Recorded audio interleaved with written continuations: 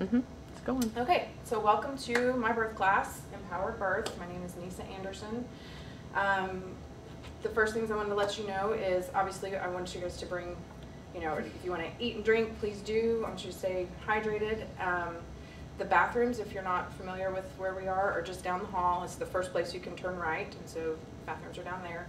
Um, the cafeteria is not open, but they have left, you can go get water over there, and they did leave us some iced tea, so, or some tea that you can make for yourself. So uh, those are a couple of the amenities that are available. In your folders in front of you, there is, um, there's one form that I need you to just sign. It is a photo release form.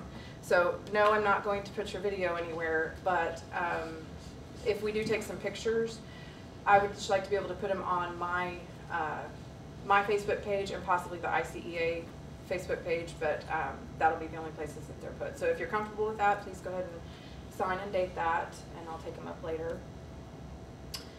Um, and I guess the first thing I would say is that, you know, we're going to focus today on how to have an empowered birth, how to um, get through this birth, you know, on your own without any, you know, additional help, and, and hopefully I'm going to give you the tools that you need to do that today. Um, I'm trying to think if there was anything else I wanted to cover before we just jump right in. Um, okay, well, back to the, the snacks and drinks, because that kind of leads into my first slide. Um, you know, I mentioned I want you guys to stay hydrated and eat plenty throughout the day. I know that the further along that you get, um, you know, the more little meals you need to eat, so please just feel free to do that. And we'll have our lunch brought in around 11.30, I think. Um, but that is the first thing we're going to talk about is nutrition.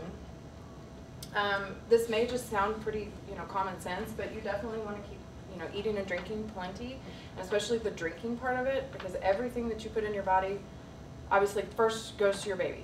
You know, everything goes to your baby first. So if there's, if you're even close to dehydration, you know, your baby's going to get all that, all that liquid that's in you, and you're gonna, you're gonna get dehydrated a lot faster because baby needs that. So just want to remind you to eat and drink um, plenty of water, eat your proteins, fruits, and vegetables, you know, just be healthy, eat healthy. Um, when it comes to avoiding foods, I'm sure you've talked with your doctors about some of those things. I'm not going to go into details because I know that changes. I know when I was pregnant, you weren't supposed to eat lunch meat. Is that still a thing?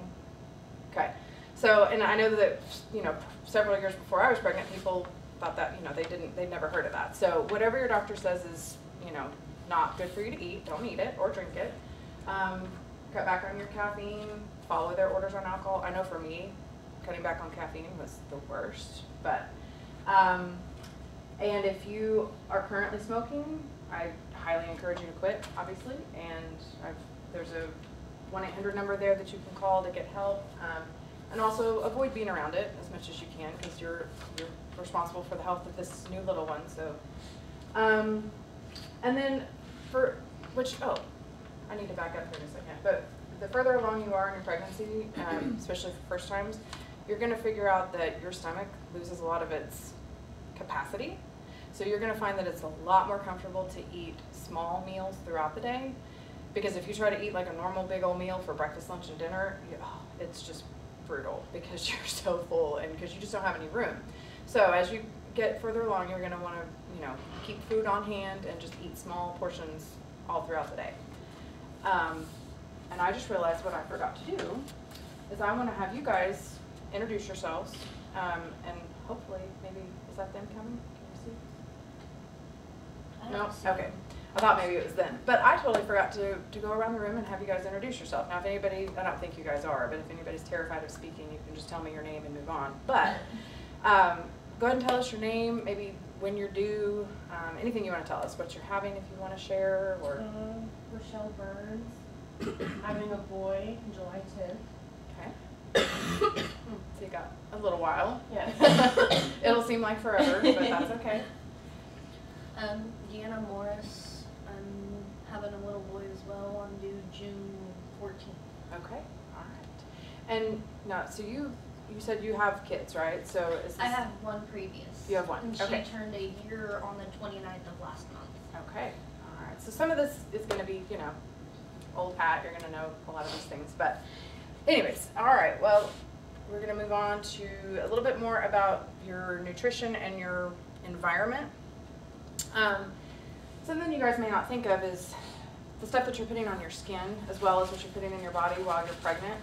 Um, there's a lot of personal care products or cleaning products, um, things that you should definitely avoid. Um, so when you're looking at your personal care products, like your lotions and your shampoos and your face creams and stuff like that, you want to look for those ingredients to make sure that they're not included in that because those things are just stuff that you don't want seeping into your skin and going into the rest of your system. Um, same with food additives, cleaning products. This is a big one. So you know, if you love to clean with bleach and stuff like that, I would recommend at least while you're pregnant, maybe avoiding that or wearing masks and gloves and all that kind of stuff because there's chemicals that you don't want getting into your your skin. Um, we're about to come up on planting season. I'm so excited. I can't wait to plant my gardens. Um, but you definitely want to avoid doing any herbicides or pesticides and things like that while you're pregnant. You know, make make your husbands do it. Their, you know, say sorry, I can't, I can't help. Um, and also plastics, if you can avoid plastic food containers. And the next slide here will give you some alternatives to these things. Um, Castile soaps some glycerin soaps some plant-based um, products are going to be, um, you know, better for your skin and better for, for baby. Um, food additives, just check your, your uh, labels for, you know, things that don't contain, you know, you buy organic. I mean, that's, that's a pretty safe way to go because you're going to avoid all those things that you're not wanting to have in there. Um, for cleaning products, um, a good alternative for right now, I mean, if, like I said, if you love to clean with, you know, the high-powered stuff, maybe just, just hold off for now. Um, and you can use and baking soda and lemon juice, combination of those. You can just look up, you know, recipes of how to mix up your own stuff. Um, same with the lawn care products, either just make him do it or find something natural. Um, and then with the plastics, you can switch to glass or stainless steel or bamboo, things like that. Now, I'm going to give you guys a website if you've not heard of it. And that's actually, you can get an app on your phone, but this is really great for um, checking your personal care products. So if you're, and this is great for when baby gets here too. So if you're looking for a new lotion, like if you go home and look at yours and see that it's full of all kinds of chemicals that you don't want, um, you can go on this website and look up different um, specific products. You, like if you have a product, you can look it up that one specifically. Some of them you can scan them. If they're in the system, you can scan the barcode. Um, or if you just need to find a new one, you can go on there and just click, you know, baby lotions, and it'll give you a list of their uh, top products, you know, from least toxic, you know, from like their zero all the way up to a 10. So obviously you want to avoid the 10s and you want to get the least toxic products. Um, some of them you can find on Amazon, some of them you can find in drugstores. What I often will do when I'm looking for a new product, like I needed a new face moisturizer, so I went out and just Googled top 10 drugstore low toxin face products or whatever and, and, somebody had already done the legwork for me and they had listed a bunch of lotions and then I took those lotions and put them into this website and found where they were you know listed and then I went and bought the, the least you know like they had a two or a three instead of a six or a seven um, and then it's still a reasonable price. But this is great for when you're starting to look for baby stuff you know like for the lotions and um, you don't really this is just FYI you don't really need baby powder that's not a thing that used to be, but you don't need, you really don't need baby powder, especially with girls, which I guess that doesn't matter. Um, but, you know, if you're looking for, like I said, lotions or um, shampoos or soaps, what else do we put on babies? Any of those kind of things that you that you're looking for, this is a great site to help you find something that's safer. Um, Now this doesn't include any cleaning products on this site, so that, like I said, you can go out, you can go on Pinterest and get recipes for mixing up, or you can buy, I think there's Myers brand, um, I know Target has a low toxin brand, but anyways, you can look for other stuff if you don't want to mix up your own at home. Okay, so one of the key um, foundations of the ICEA program is family-centered maternity care. Um, and so, you know, years ago, you know, husbands weren't even in the room when you were giving birth, right? So ICEA, I think it was like early 60s is when they when they first formed and this was when they were starting to encourage husbands to come back into the birth room or to be in the birth room so that the mom is not in there all by herself. Um, so, you know, the, the, beginning of this and their foundation of, of that thinking of having more support and having more people in the room and kind of getting back to a more natural way of giving birth and a more comfortable setting of giving birth, um, they developed their ideas in the family-centered maternity care, which basically says birth is a normal, healthy process for most women. I mean, yes, you're going to have the the people that do have some additional complications, but for most people, it's healthy and it's normal. It's not an illness. It's not a sickness. It doesn't need to be treated. It just needs to be. It just needs to happen.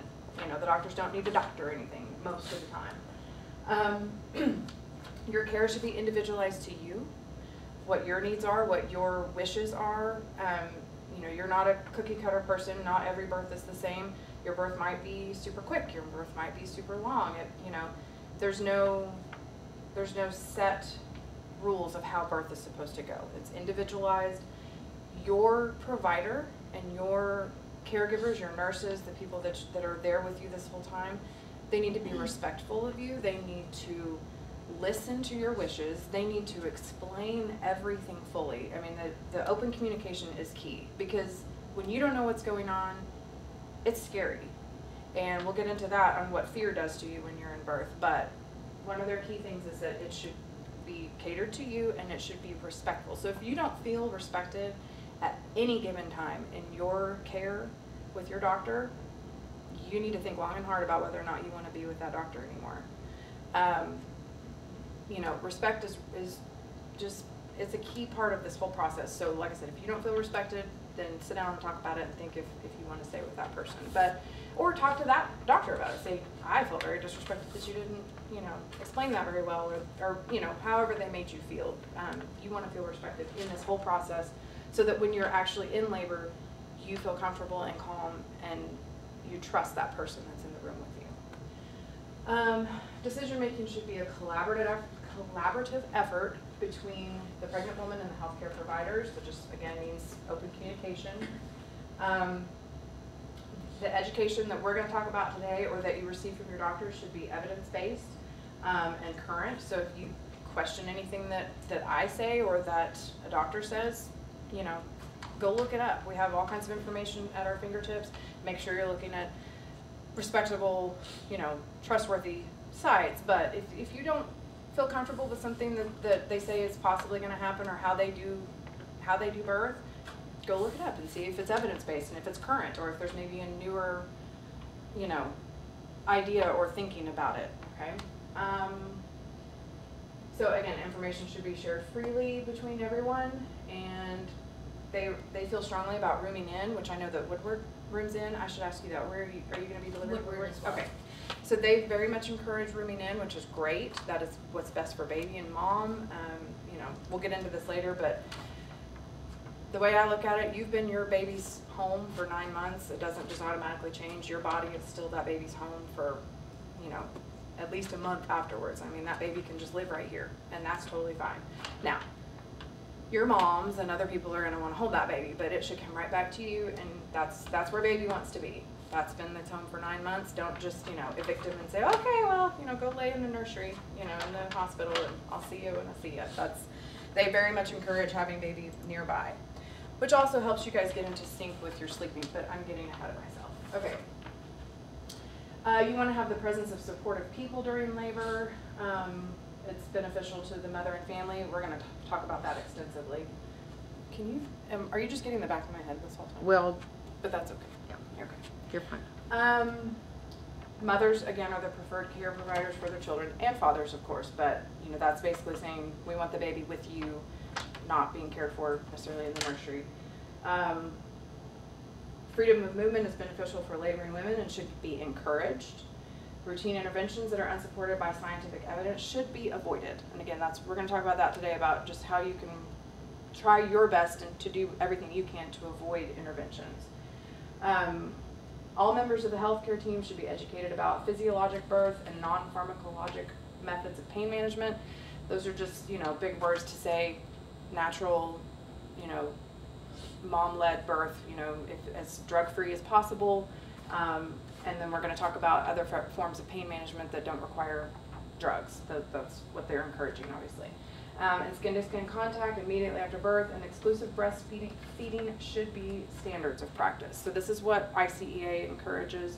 Um, I'm on board with those things too. I, I, I don't, the exclusive breastfeeding thing, yes, I think that you should, I mean, I encourage everyone to try, but, you know, I don't want, I want to put this?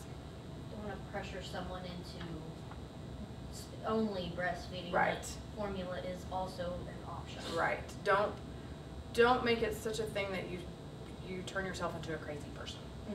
I know people that have, I mean, it happens, it does, so, but we'll, we'll talk about that a little bit more. And do both of you know Sierra? Uh, Over at Woodward? lactation consultant? Yes. Yes. Okay, and, and I found out that we're actually gonna have a lactation consultant here, but they can be your best friend, okay? They should be your best friend, and I highly encourage, you know, before and after, go visit. If you have any problems whatsoever, just go visit them. They will be a huge, huge help, okay?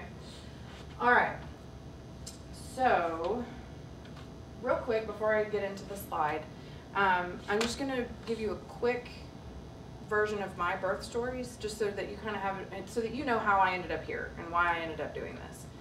Um, first of all, let me ask you this: How many of you have heard like everybody's birth story around you? Do they all just they all want to tell you, don't they? Yeah. How many of you have heard like some really horrifying ones, right? And and they're the ones that want to tell it to you, tell it to you over and over and over and in great detail.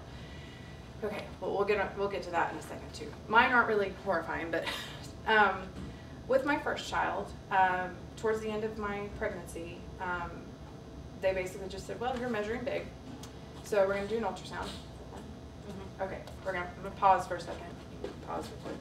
Hello. Hi, sorry for late. No, did I forget anything that we talked about earlier that I should? No? Okay. And so bear with me because we are to have to stop occasionally and change over discs and stuff like that. Um, but one thing that I have not done is say, first of all, if you have questions, please speak up and just, you know, you don't, you can raise your hand if you want to, or you can just ask me questions. Um, have you had any questions about anything we've covered so far? Okay. The other thing that I'm gonna do, and I'll, I'll remember this here in a little bit to set it out there, I'm gonna get your emails. So if you want any of these, um, websites that we talk about, or just specific information that, that I've covered, if you want me to email you about it, I'd be happy to do that. There is notebook paper, I should have mentioned that too, in your, uh, folder. So if you think of a question that you wanna ask, you know, you can just ask it, or if you wanna write it down and ask later when, you know, one-on-one, um, or email me or whatever. Um, I just wanna, if I don't know the answer, I will also make sure I get you the answer, and I'll be honest with you if I don't know. So, um, okay, so again, y'all are my guinea pigs, so bear with me. Hopefully this this goes well. Um, what I was starting to say, and are we back on? Mhm. Okay, I just want to make sure. Um, what I was starting to tell everybody uh, is a quick version of my birth story, just so you kind of know how I ended up doing what I'm doing.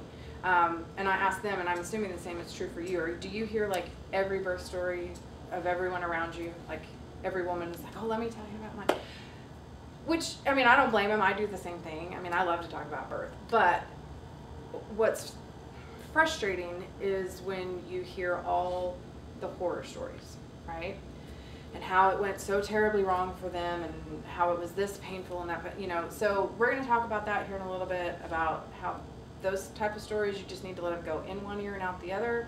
If you know that person's just going to keep telling you that birth story, maybe just avoid them for a little while. You know, till the baby gets here, just, oh, you know, I can't hang out today. Or if they start to tell you, I've heard it, thanks, you know, I don't need to hear it anymore. But okay, we'll get into that and I'll tell you mine real quick. So, so my son, he is almost 12 now, but when I was pregnant with him, um, towards the end of my pregnancy, my doctor said, oh, you know, they took the measuring tape and said, oh, you're measuring kind of big. We need to do an ultrasound. So we did. And they said, well, he's he's big. He's almost nine pounds, and so nine pounds is uh, my cutoff for a C-section. Is how my doctor worded that to me. It's my cutoff for a C-section. Well, this is my first baby. I knew nothing about birth, and so to me that was that was it. Okay, well I have to have a C-section. All right, so I went in. I did go into labor on my own, and I went into the hospital, and I said, well, I, my doctor said I have to have a C-section, so we did. Now, he was basically nine pounds. He was eight pounds, 15 ounces. So I'm not gonna say that that was not the best thing that could have happened. It probably was. I probably, I mean, he was a big baby. Not to say that you can't birth big babies, but neither here nor there. I had a C-section with him because I didn't know that I had the ability and the right and the option to say, okay, I understand that that's your policy, but I would like to try to give birth and try, you know. And then if it doesn't work, then we we cross that bridge when we get there. I didn't know that. Okay, so so I have him recovered from a C-section, which is not fun, but it's all doable. And um, a couple of years later, I wasn't even another baby wasn't even on the radar. But one of my friends told me to watch this documentary. It's called The Business of Being Born. I don't know if it's out on Netflix anymore or if you can find it, but it's a great. Um, it's just a documentary about birth, and it just kind of talks about what birth has become in most hospitals around the country. Now, granted, this documentary was probably made in the late 90s, early 2000s, I would say, somewhere around there. Um, so I think things have improved, and there are a lot of doctors that are moving back to more natural procedures. But anyway, so I watched this documentary, and it opened my eyes to what birth can be. Yeah, if you wouldn't mind shutting that, thank you. Um, and kind of what it's been turned into, you know, everybody being on the same, you know, clocked schedule, and you know, this is how long it should take to have a baby, and if you go beyond that, well, then we need to start doing something about it. Anyway, so that's what the documentary kind of showed me. So whenever I decided, when my husband and I decided we wanted to have another one, I decided I wanted to have a VBAC, which is a vaginal birth after cesarean. Um, now it's hard to find places out here that will do that. I happened to live in the city at the time, and OU Hospital did uh, vaginal births after cesarean. So at that point, I made it my mission to learn about natural birth and learn about how to do that because nobody innately knows what to do during labor in order to get through it on your own. If you look back prior to you know the births being brought into the hospital and you know very sterilized and all that kind of stuff. If you look back prior to that time frame, what happened most of the time in a birth? Where did it take place? Home. Home. And who was there with you? Your family. Family. Right. So you had a, usually a local midwife that had birthed many, many, many, many babies would show up. They would probably even have an apprentice because that's how that happened. You know, they they are birthing the baby and then they have somebody that's going to take over for them someday and they're coming and attending and learning. So they're just learning by experience and they're seeing how a natural birth happens. You have your aunts and your sisters and your moms, and you have people in the room with you that have had a baby, that know what to expect, that know what worked for them. So they're there to help you get through it and show you, hey, get in this position. Hey, try this, you know, try dancing. We'll get into that. I mean, try try this, try that. You can do this. I've done it. You're fine. That's what that's what the support system used to be like. When you take away all those people and women, and you know, you would even have young girls that hadn't had a baby, but they're still in the room helping and they're seeing what birth is like. They're seeing what you can do to get through birth and that it is a natural, normal function in life, right? So that's what was taken away from us is that we know we don't know unless you've had a baby, you have no idea what's coming because all you've ever seen is what's on TV and movies and the horror stories that you hear from people because that's what they want to tell you. And so, let me just tell you since I have learned so much about birth, I have yet to see anything on TV or in a movie that is even remotely accurate. Okay? They're not like that. Do you guys remember the TV series? Um, it's probably on TLC, and I cannot think of the name of it, but it followed births, right? Do you guys know what I'm talking about? I think It's like a reality show, right? Where they Like follow Bringing home baby. something like that. They they follow around a couple that is pregnant, and you know, and then they it's always right there at the end, and then I kid you not, every one of those labors turned into some sort of emergency because that's good TV, right? I mean, if it was just oh look, she's she's in labor and then she had a baby, that's not going to get you to watch. It was the drama and the oh my gosh she's in danger and oh my gosh we have to take care of this you know that was what every single episode was so if you watch that stuff that's what you think birth is like right i mean that's the only experience that we have been shown so all that to say, I kind of got off track there, that I decided to make it my mission to learn how to get through a birth. And I went to a birth class, and I'm going to be perfectly honest with you. She taught me all kinds of things. Me and my husband, we both went to it together, and it was a one day class, kind of like this. Um, when it actually came time to give birth, I remembered one thing from her class. I remembered her breathing technique. I mean, I just forgot everything else, but that breathing technique was what got me through my labor. And I was able to, I had a fairly, and I'm going to be honest with you, I had a fairly easy labor, okay? And I'm not going to, you know, promise you that that's what everybody's labor is like, but it was relatively quick. Um, it, you know, I just did the breathing technique and I made it through it and I had a baby and I didn't have any drugs, I didn't have any interventions whatsoever. It was peaceful and it was quiet. It was a dark room. It was, um, you know, towards the end, yeah, I was hot and sweaty and a little bit, you know, thrashing and freaking out, you know, but that's what you're going to get to at some point. But the, everything leading up to that point was totally calm.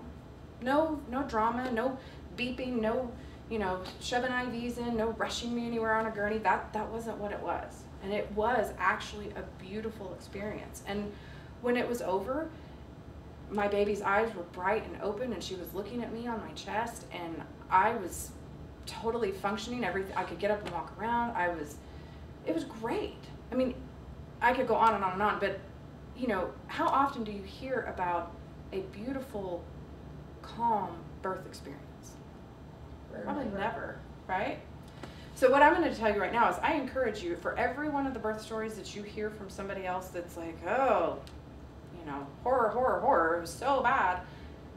Hop online and Google midwife births, you know, Ina May Gaskin. I'll give you her name. She has a great book that if you if you like to read, I'll, I'll give you the title of the book here in a little bit. Um, the whole first section of her book is just stories about beautiful, you know, peaceful births, about baby coming into a calm, loving, quiet environment. Okay? So for every one of those stories that you hear, go read one that's that's the opposite of that. Okay, so you can flush all that other stuff out of your mind. So, um, let me see. Okay, so well, let me just talk about the slide that you've been staring at for a while now. Um, yes, we're going to get into some techniques and some physical things that you can do that are going to help you get through labor. But the main thing is, is that you have to believe in yourself and you have to believe that your body can do this. Okay, and this goes along with not listening to the crazy stuff, but listening to the people that have done it. You have to hear success stories to know that you can be successful. So you have to believe in yourself and you need to surround yourself with people that believe in you and that believe you can do this. Um, okay, so uh, everyone's birth story is going to be different. Um, and I will say this too everybody's pain tolerance is different. You might be hearing Aunt May's story, who, you know, cries when she pricks her finger or whatever. You know, like she might have a really low pain tolerance. So you can't take everything at face value. Okay. I mean, they may, somebody may talk about how excruciating it was, but you're not them. Okay. So keep that in mind too. Um, Okay, so I'm going to give you an example of what I think about whenever, um, whenever I think about surrounding yourself with encouraging people. Okay, so if you ever have a, like if you've set a goal in your life, right, whether it be to go back to school, or to get your beautician's license, or to like this is the first of the year and I know a lot of us have this idea of oh I want to I want to get healthy you know I want to exercise more and, and get to this goal weight or I want to run a marathon or you know whatever your goal might be. So when you have that goal and you go to your significant other or you go to your mom or your mother-in-law or your sister, your cousin, whoever, if you go to people that they're supposed to be your support system and you tell them that goal, what do you hope their reaction is? What do you think their reaction should and would be? Positivity. Right. Encourage you right? That's great. I know you can do this. What can I do to help? Right? That's what you mm-hmm. hope for and what you expect from people that care about you, right? Especially if it's something that, that they know is good for you. You know, it, great. I think you would love to run a marathon. I wouldn't. but, you know, if that's what would be great for you and that's what you tell someone you want to do, I would hope that the people that are around you that love you, that that's immediately what their reaction is going to be. Is, oh, that's great. I know you can do this. And what can I do to help?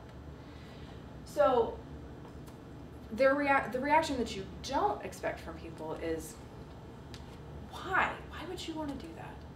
Why would you want to do something so hard? Don't put yourself through that. You can't do it. Oh, trust me. You're not, I tried. You can't do it. Okay? Just don't even, there's no reason. Just take the easy way. Okay, I don't want to say take the easy way out, but Don't even make the effort. Thank you. um, you wouldn't expect that from them for any other goal that you have in mind. So you should not expect that, or you should expect encouragement with this goal as well. Okay? You have done the research, obviously. You know that this ideally is the best scenario. Best case scenario is that you go in and you have a baby without any other interventions, without any complications, and you have your baby, right? And you don't have to have all these other needles and things and drugs and stuff because that's not what you want.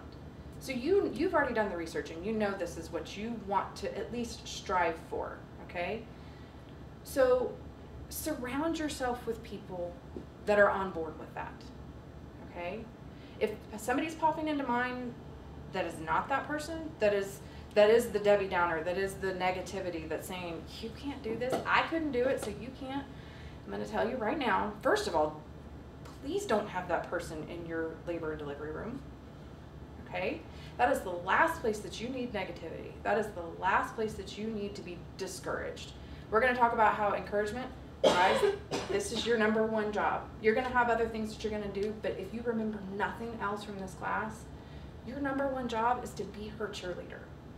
All you have to do is say, You're so strong. You're doing so good. I'm so proud of you. And you will be surprised at how far that goes in helping her stay calm and confident and get through this. So, surround yourself with cheerleaders.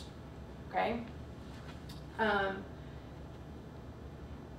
so, let's see if I've covered everything. So, pain, I mean, I don't want you to focus on pain, but when you are having pain, it does have a purpose. The purpose is to get your baby here, right? So, you know, in any other scenario, if you're running a marathon or exercising whatever, you're going to go through pain, but you know that it has a purpose. Well, this has an even better purpose because you're going to get a baby at the end of it, okay? So it has a purpose. You know it's coming. It's not like it's a big surprise. You know there's going to be discomfort, but it's, you know, it's going to be fine. And it's intermittent. That's the other good part. Okay, like if you're running on a treadmill and you're huffing and puffing and you're getting that stitch in the side, it's not going away until you stop running, right?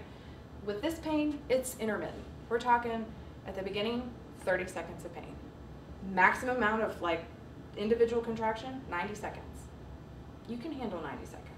And just know that this is gonna stop and I'm gonna get a breather. Okay, so when you're in pain, if that helps you, think, okay, this is not gonna last forever. And it's totally normal. Okay?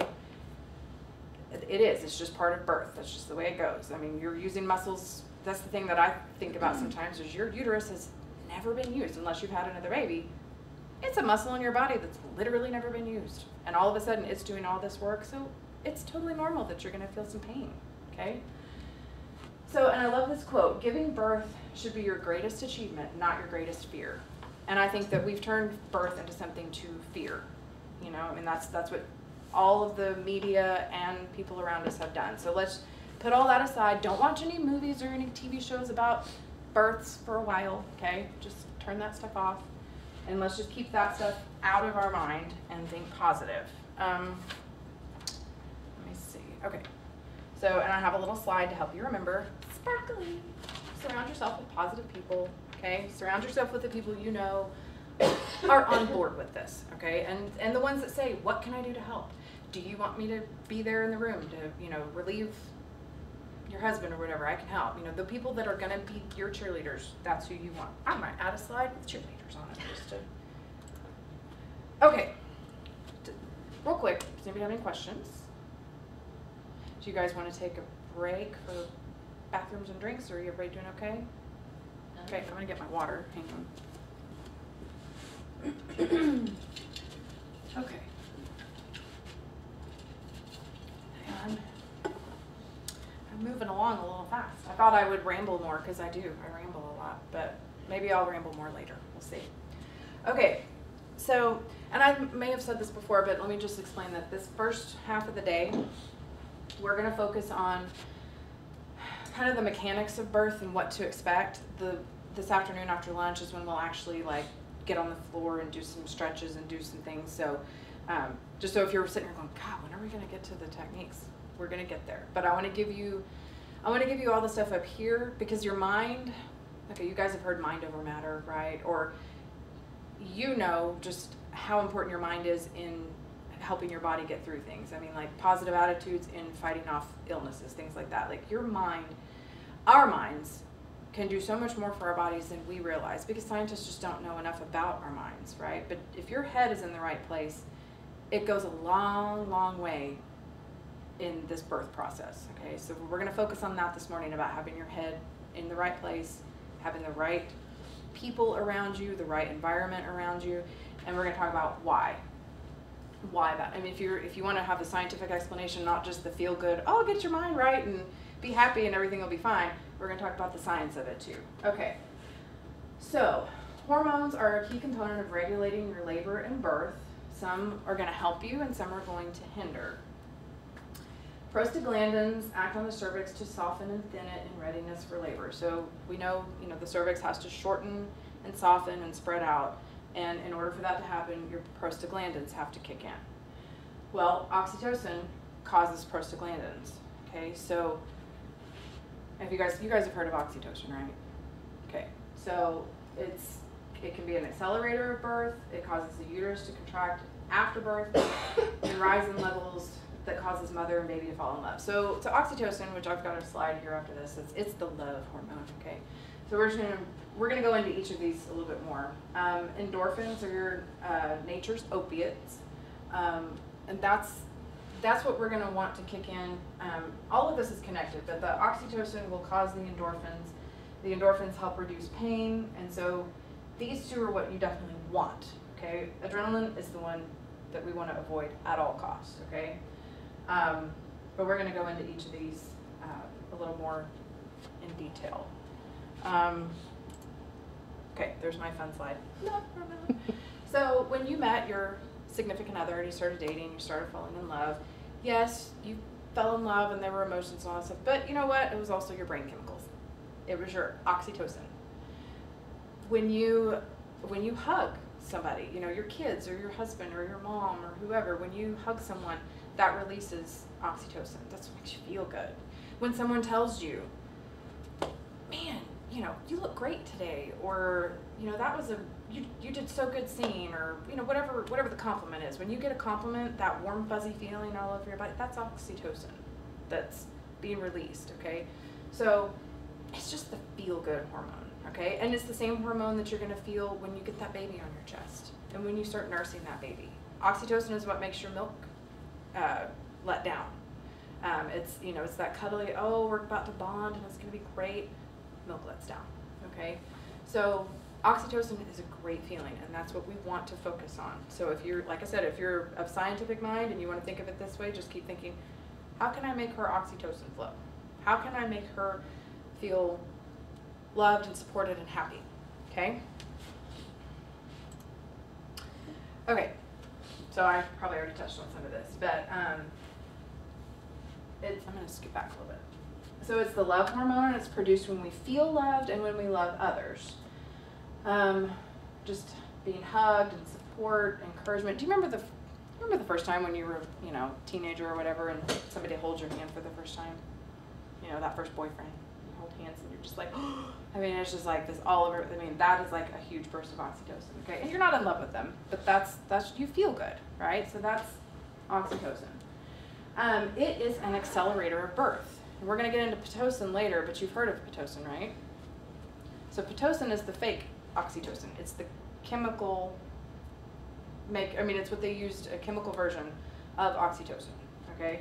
Um, but it's and it, they're both an accelerator of birth. But the oxytocin that is naturally produced in our body accelerates it at the correct speed, at the correct strength, and it brings about birth the way it's supposed to happen. Okay, the way it or the way it is the way our body naturally wants to make it happen is with our own oxytocin. So we want to keep the oxytocin flowing.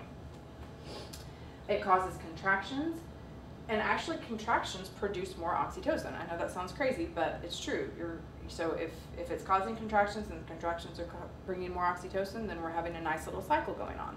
As long as the contractions are caused, you know, they're caused by the natural oxytocin and they're the right strength, the right timing, and it feels comfortable to our body. I mean, yes, it's un- it's uncomfortable because it's painful, but it's what our body is expecting to happen. Then we're right on track. So we want the, the contractions that are caused by oxytocin. When you're done with all of this, it's also what helps you get the placenta out and it helps slow your blood flow. So the oxytocin is it's key in this whole process from beginning to end. And like I said, when you get baby on skin to skin and you're nursing, you still have oxytocin flowing. And it helps your uterus to go back down to normal size. Now, you guys have been pregnant before. I just had a discussion the other day with some moms and you're gonna look pregnant still after you have your baby. And my friend was telling me a story about she just had her daughter maybe two or three days before that. Anyway, she's at home and some kid comes that's doing DirecTV or something like that. And he sees the baby or hears the baby and then he looks at my friend and he's like, So you have a baby but you're pregnant again? And she's like, no, I'm not. You know, like, I mean, granted, he was 19 years old, so in his defense, he didn't know. But the good thing about, so that's just a little side note. If you didn't know that, you know, the uh, Princess Kate and all these other models and celebrities that go right back to what they were before, that's not real life. That doesn't happen. Probably a lot of spandex. Uh, yeah, for sure. So, but all that to say that the more the more calm you are, the more relaxed you are, the more supported and comfortable you feel, the more oxytocin is flowing through your body and it's going to help everything. It's just going to help in the healing process, okay? It's going to help your uterus go back to the, to the size it's supposed to be. Um, it's, you know, you've had a major organ, your placenta has just come out of your body and left this gigantic wound inside your uterus, but the oxytocin helps slow the blood flow and helps all this in the healing process. So when you get home, I'm just going to throw this out there. When you get home, you need to keep all of these things in mind that you need to stay calm and you need to stay supported and secluded and just uh, in your own little bubble with your family. Okay? Don't worry about the laundry. Don't worry about the house. Don't worry about any of that stuff because the more you stress about that, the less oxytocin you're getting and the less your body is uh, the slower your body is going to heal. So self-care, okay? Take care of yourself and relax and let your let your body heal the way it needs to heal. Okay, I saw that this picture the other day about that about, and I never thought about that. Once your placenta comes out, you have this massive, like plate-sized wound I saw that. Inside one of your organs. I know you don't think about that because they're not external things that you see healing, right? But that your body needs to heal that stuff. So that's what that's what that time home is. You know, if you have maternity leave or if you're just home in general, that needs to be healing time. Think of, of you just had a major you know, massive body event. I mean, no, it wasn't a major surgery, but you had a major event happen. So let your body heal. Give yourself a, a break. Don't worry about the baskets of laundry, okay? Okay.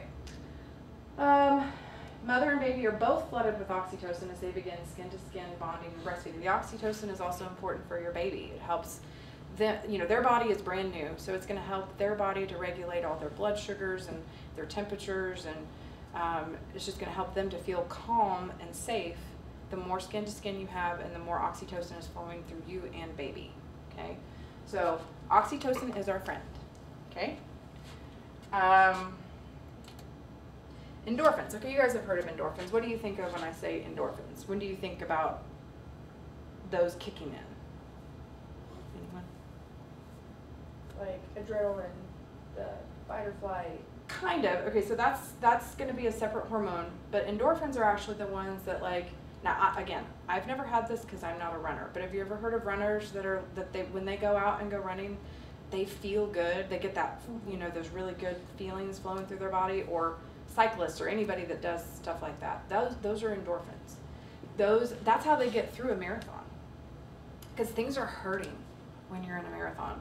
Your thighs are rubbing together. You're getting blisters on your feet it's not a fun, comfortable experience, but they have endorphins flowing their, through their body because they feel good, because they're doing something, they're doing something they enjoy, they're accomplishing a, a goal, and so they have endorphins that are flowing through their body that are helping as natural pain relievers in their body, so it helps them get through this marathon. Well, think of it that way. Think of birth as a marathon, basically.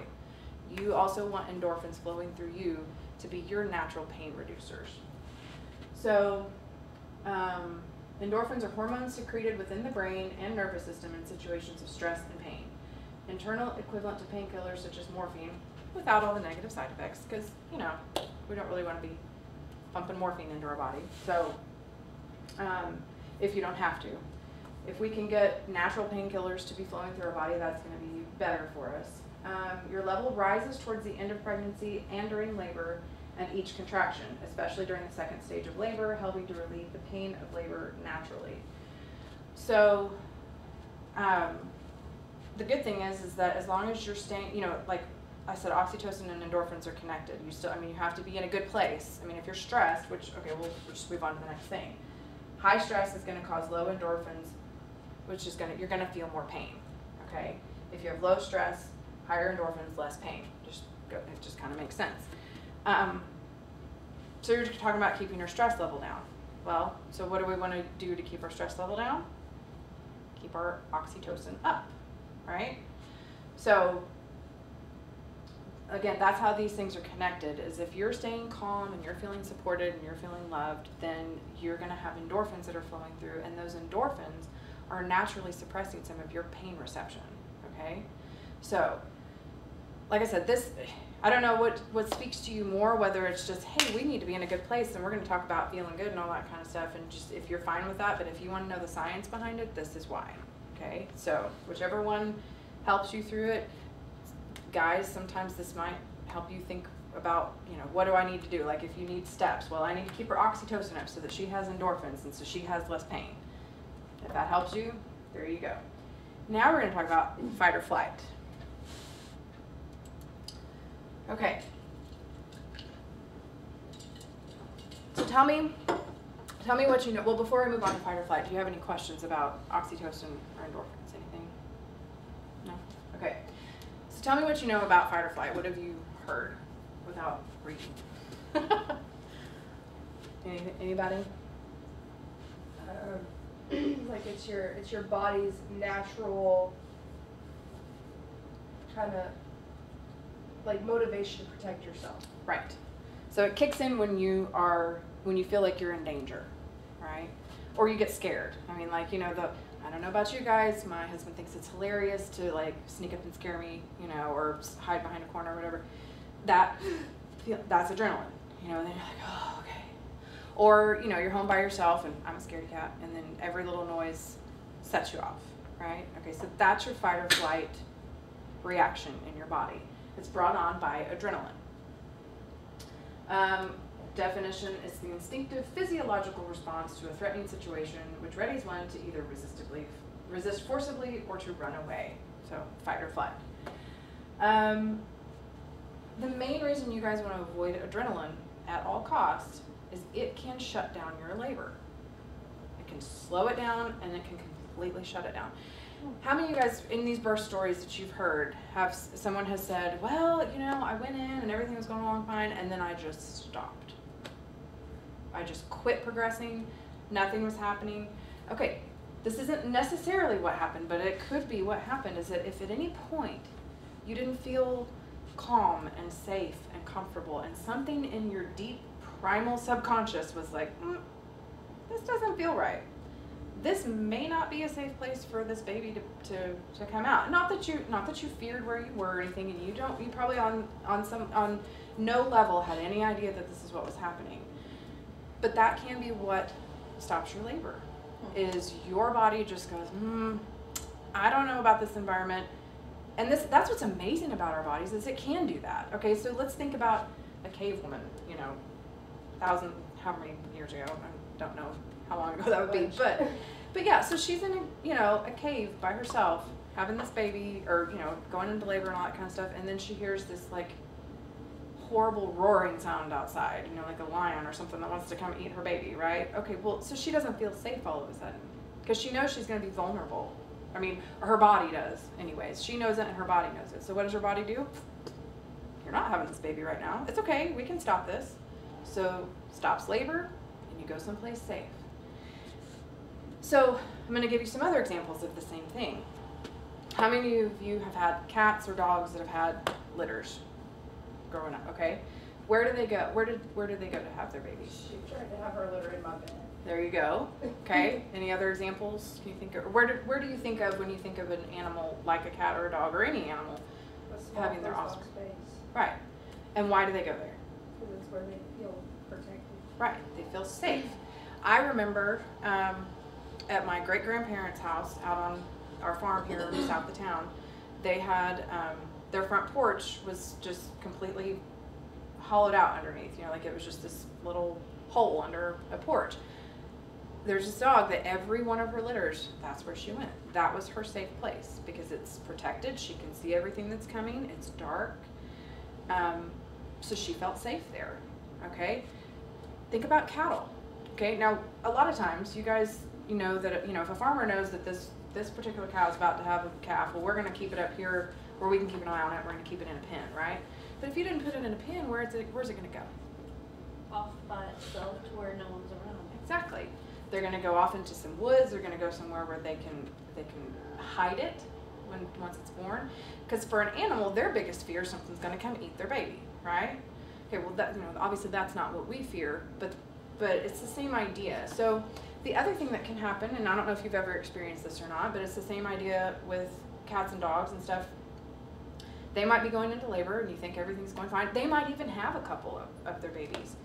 But then, say it's a cat, and all of a sudden it hears a dog barking or you know something something threatening. Well, that cat's birth is going to stop. That cat has time to take those new babies and go somewhere else and finish having their babies, right? So, think of yourself as an animal then at this point, or a cave person, or whatever. Your body still has those same instincts, okay? Again, you're probably not af- you're not fearful that you're in mortal danger in your hospital room, right? You don't feel that. Um, you don't think anybody's coming to eat your baby, you know? It's not the same fears, but it's the same idea. That if you're not calm, if your brain is not in the right place and you're not feeling loved and supported, I'm not. I don't think this would happen to any of your families, but let's just say that you have, you know, several different family members in and out of your hospital room.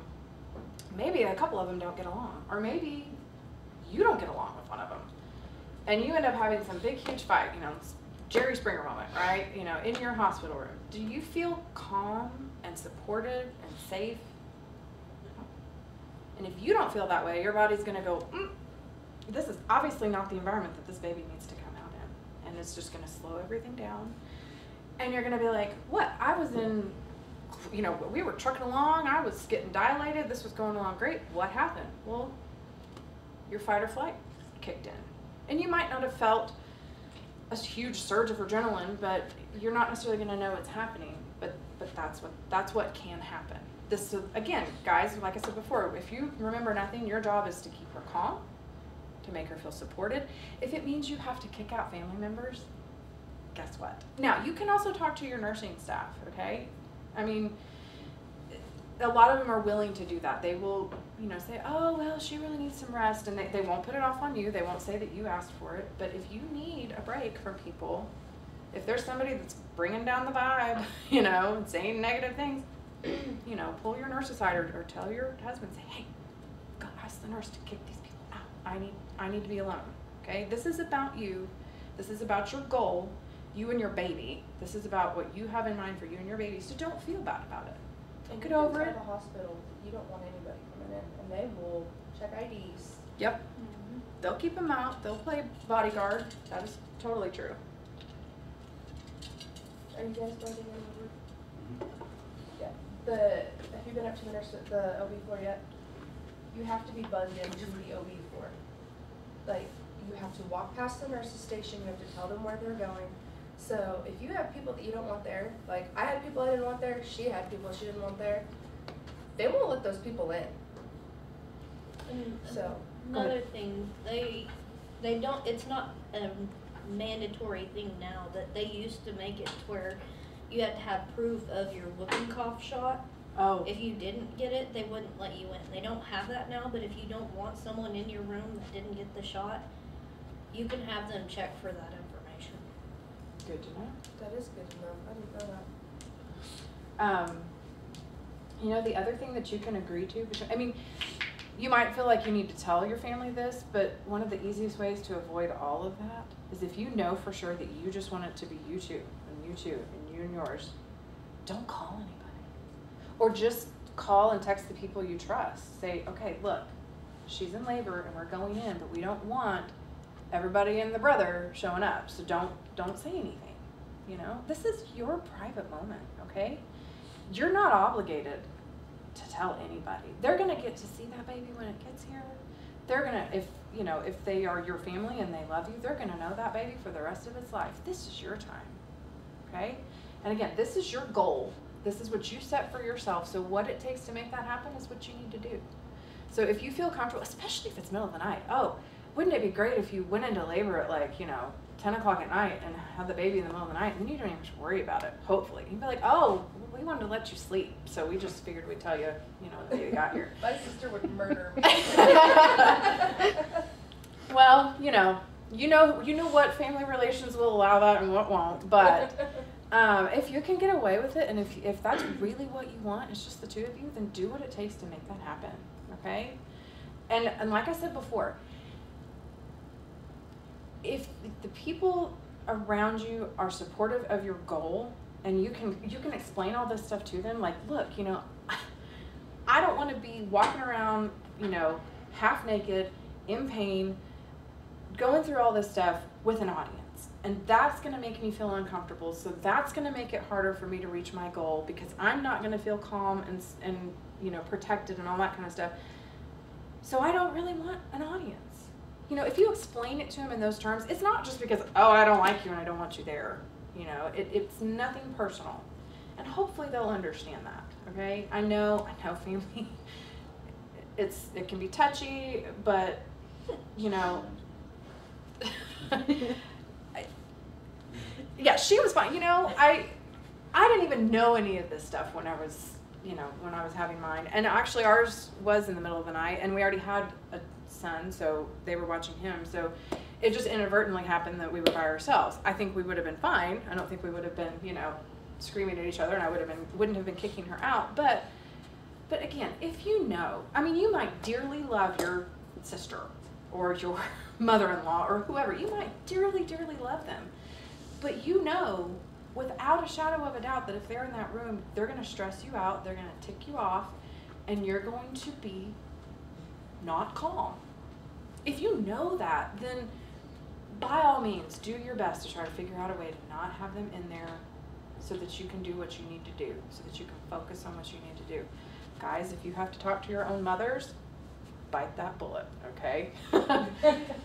Just saying, like, you know, but again, if they're supportive of your goal, and li- and I hope that they are, I really do. I think I think in natural birth and in breastfeeding and in all these things that they're natural and they're things that we should be doing. They're they're not easy though, and it's because we don't have the examples anymore. It's because we're not surrounded by it all the time. It's getting better, but one of the biggest things is just having that support you know, years ago it was just taken for granted that that's just that's how you give birth, and so there, there wasn't a lot of negative Nellies around going, oh, you can't do it. They're hoping that woman can do it because you know they don't really have any other choice. You know, years ago before we had all these interventions and stuff. But anyways, I'm getting off topic. Um, so I just want to encourage you to think about who you're surrounding yourself with. Okay, let me do one more slide, and then I think we are going to take a break. Okay, I'm glad I did this one. So this is the cycle you want to avoid, obviously.